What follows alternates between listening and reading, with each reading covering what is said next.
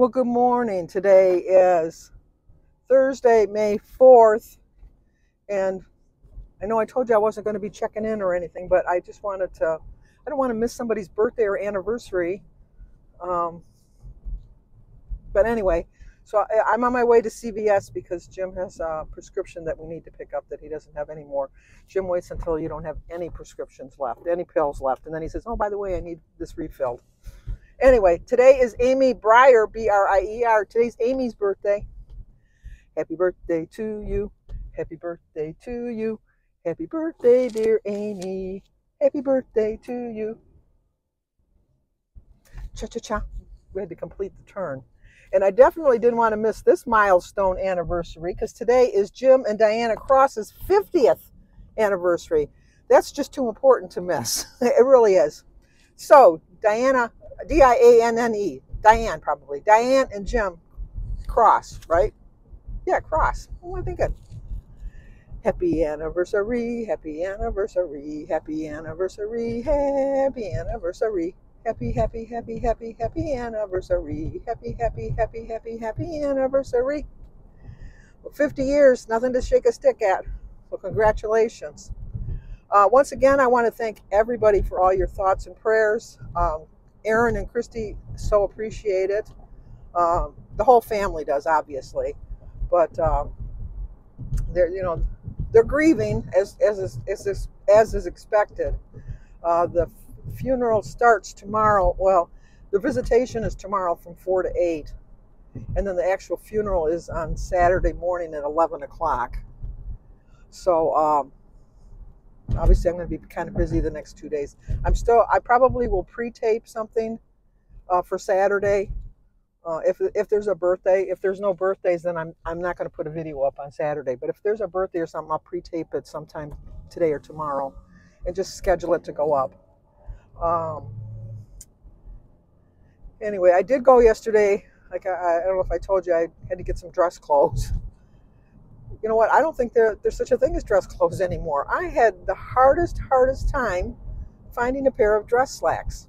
I don't wear dresses or skirts, and even with that, they were so summery. They were not funeral appropriate uh, dresses. So, and not that I would have ever got a dress. I don't wear dresses, um, but uh, I did manage to find one pair of one pair of pants or trousers or slacks or whatever you want to call them in black, my signature color, so um, I do have enough blouses. Believe it or not, I do have fancy blouses that I just probably always just wore with jeans. Or you know what? Not really. My my problem is my bottom heavy, and uh, as I was getting thinner, I was able to buy smaller, dressier tops that I could wear with a, fan, a nice pair of jeans. So I have enough dressier tops that look fine with jeans and will look nice with the dress pants. But I didn't want to wear jeans to a funeral, so uh, I did find some. And then, um, and I know I'm going to be like the old fuddy duddy, but I don't have black dress shoes, and with my plantar fasciitis still acting up in that, I couldn't see spending money for dress shoes. So I have a nice pair of black Hoka shoes but my pants, thankfully, are long enough that they'll cover up the label. So it'll just look like a black shoe. And then, you know what? I have reached an age where I don't really care. You know, they're going to look at me and think she's an old woman. She's got comfortable shoes on. My Nana wore um, like sturdy heels. I don't know what else you would call them. They weren't like spike heels or anything. They were like nun heels, like the, like the heels that the nuns would wear, like a like a really thick heel. And she kind of always looked like she was a little bit off balance. But I, that was like you had to wear them, I guess, at that time. So memories of my nana when I did see her a few times, not too many times. But uh, anyway, so we are here at CVS now. I just wanted to do a really quick check-in. I don't want to miss somebody's birthday or anniversary. Although I know you would completely understand if I did, but you know, you only get one a year.